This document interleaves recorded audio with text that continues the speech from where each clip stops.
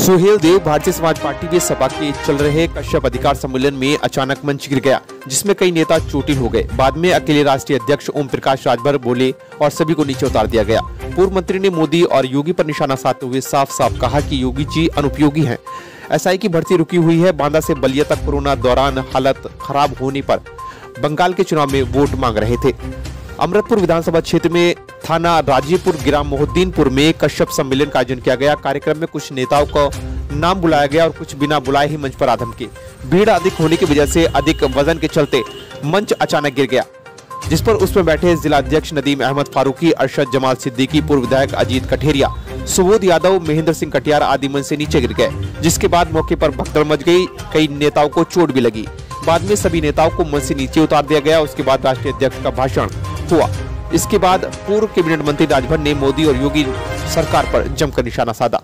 UP Uttarakhand news twenty four seven के लिए फारूकाबाद से सत्यम कटियार की रिपोर्ट। योगी के चेहरे पर चुनाव नहीं लड़ेगी भाजपा ऐसा कुछ चल रहा क्या? भारतीय जनता पार्टी दो महीना साथ अभी अमित शाह जी ने क्या बोला था?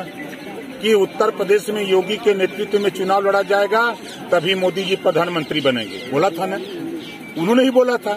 और मोदी जी आ गए तो योगी जी को पैदल कर दिए।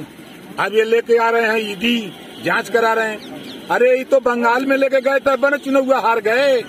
अब यूपी इनका लक्षण है कि अब ईडी लेके आओ चाहे सीबीआई तुमको चुनाव हारना है तेरी सरकार जा रही है कोई तुझे वोट देने वाला नहीं है। मंत्री जी कांग्रेस कांग्रेस भी लगातार प्रियंका गांधी और जो राहुल गांधी अब जो है आपके पूर्वांचल में पैदल यात्राएँ कर रहे हैं। तो क्या लग रहा है कांग्रेस कहीं है? देखिए कांग्रेस निश्चित है कि प्रियंका जी राहुल जी मेहनत कर रहे हैं इसमें कोई शक नहीं। धरातल पे संगठन नहीं है पहली बात।